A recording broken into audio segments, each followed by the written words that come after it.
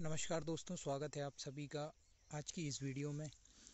तो अभी जो है हार्वेस्टिंग बंद हो चुकी है क्योंकि तीन गड़ियाँ, वो जो एक काटने के बाद, एक गड़ैया काटने के बाद, ये तीन गड़ियाँ ये और तीन ये काट दी थी। क्योंकि मशीनों को दूसरी जगह जाना था चलने के लिए तो जितना भी हो सकता था कल कटवा लिया था और फिर मुझे कल बरेली जाना था तो इसलिए मैं वीडियो नहीं बना पाया। बाकी अभी जो है कुछ धान नीचे रह गई है कटने के लिए, क्योंकि उनमें पानी भरा था और मशीन जो है वो बैठ जाती तो इसलिए उनमें कटाई नहीं की थी। मैं आगे चल के आपको दिखाता हूँ। तो अभी जो है आप देख सकते हैं, इतना फ़ील्ड कटा है।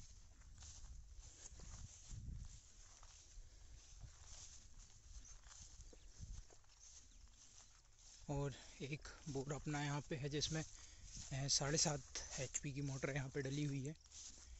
ये देखिए डायरेक्ट जो है, लाइन लगी हुई है। और ये कुछ स्टार्टर यहाँ पे है और ये मोटर डली हुई है। तो इसकी वायरिंग जो है अंडरग्राउंड है ताकि ये ट्रैक्टर वगैरह निकलते हैं तो उसमें दिक्कत ना हो। बाकी अगर देखें आप जो कल मशीन ने कटाई की, क्योंकि उस दिन जो है उसकी छन्नी में से दाने ज़्यादा आ रहे थे। अगर अभी मैं आपको एक लेवल जगह पे जाके दिखाऊँ कि कितने दाने दिए क्योंकि आप देख सकते हैं यहाँ पे कितना मतलब ट्रैक्टर, वो जो हार्वेस्टर है उसके टायर बैठे थे। बाकी अभी ये जो भूसा है यहाँ पे इसमें देखते हैं। भाई नुकसान तो फिर भी हुआ है। क्योंकि जो है यहाँ पे आप अगर आप देखें तो इसमें कुछ दाने तो ऐसे हैं जिनमें कोई भी दाना नहीं है मतलब सिर्फ़ बुकली बुकली रह गई है और बाकी यहाँ पे जो कुछ है तो ये तो भरे हुए दाने हैं तो कुछ फ़सल का नुकसान तो हार्वेस्टर में होता है, लेकिन जितना नुकसान होता है उतना तो वो हाथ की कटाई से लेबर ले जाती है। तो बाकी अगर अभी ये देखिए पानी भरा हुआ है। और अभी आगे की जो हैं गड़ियाँ, उनमें तो और ज़्यादा पानी भरा हुआ है तो इसलिए इनकी कटाई नहीं करवाई।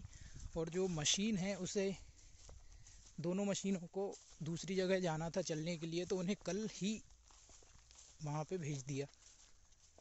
अभी मैं आपको उधर आगे जाके दिखाऊँगा मौसमी के खेत में टमाटर लगाने की तैयारी भी हो रही है तो वो कितनी है अभी उसमें, क्योंकि उसमें कोई फ़सल नहीं लगी है।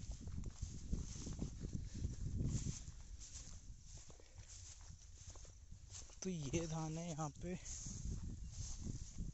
ये देखिए, पूरी ज़मीन गीली है यहाँ पे तो। तो मैं अभी आपको चल के दिखाता हूँ वहाँ पे। यहाँ पे कुछ ये जो है अपनी चार गड़ियाँ रह गई थी। एक, दो, तीन और चार कटने के लिए रह गई थी। बाकी उस तरफ़ तो अपनी जो है मौसमी का एक बगीचा बना हुआ है तो उसमें धान वैसे ही नहीं लगाते। तो ये चार जो जगह ये चार गड़ियाँ रह गई थी तो इन्हें काटने के लिए अब जहाँ तक इन्हें हाथ से कटवाएँगे या फिर जब तक मशीन लोड के आ जाएगी, लेकिन मशीनों को लोडने में टाइम लगेगा। जब तक ये पक चुकी है बिल्कुल मतलब कटने के लिए तैयार है, लेकिन गीली जगह होने के कारण इसे नहीं कटवा रहे हैं। और ये देखिए, अभी आपको दिखाऊँ। पानी भरा हुआ है यहाँ पे।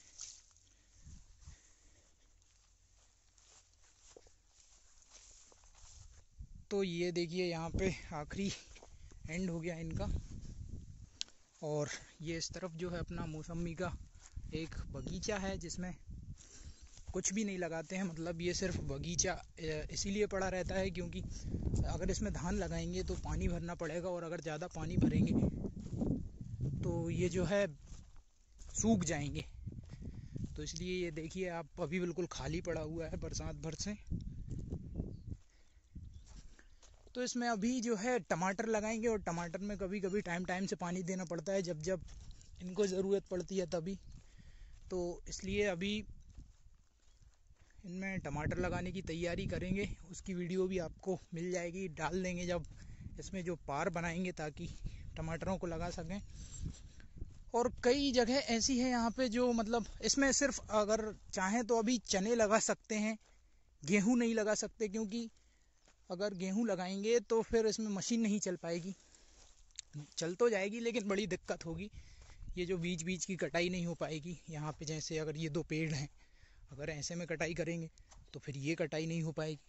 तो इसलिए सिर्फ़ चने लगा सकते हैं, हाथ से कटने वाली फ़सल कुछ भी लग जाएगी यहाँ पे, लेकिन ये अभी तो सिर्फ़ टमाटर लगता है हर सीज़न दो साल से। यहाँ पे टमाटर ही लग रहा है और टमाटर लगाएँगे यहाँ पे। तो अभी ये चार और कट जाए, फिर उसके बाद यहाँ पे जब ट्रैक्टर लेके आएँगे और फिर करेंगे चालू।